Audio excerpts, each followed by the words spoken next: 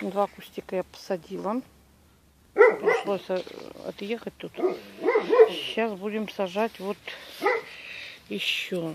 Что хотела показать. Вот желтый. Смотрите, какая корневая шейка здесь, а корневая система вся открыта. Видите, какой обработан мылом, видать, этот был как он. Написано двухгодичная. Но это, по-моему, не двухгодичная. Не двухлетка, а трехлетка. Ну так-то вроде неплохой. Сейчас посадим.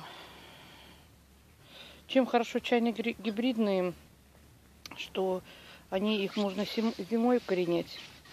Они хорошо укореняются. Зимуют очень хорошо до минус 35. Э, выдерживают морозы. Так что я надеюсь, что у нас с ними все будет хорошо. Здесь укрывать будем, ящики ставить, лапником укрывать. И он будет около дома, как бы нам мне легко будет за ним ухаживать. Весной открывать, проветривать, закрывать. Так что вот. Почему? Там я, наверное, не знаю, буду, не буду пока сажать. Потому что строиться будут. Мне его их не затопчут они мне. Хотя в этом году-то сильные э, отрастать они не будут. Цвести, я надеюсь, они начнут. Я один бутончик оставлю цвет посмотреть, соответствует ли указанному на коробочках. Это у меня вот бордовый, видите, он какой маленький. Я хотела три бордовых взять. Но вот все плохие были. И то это я 8 часов утра зашла в магазин. И только вот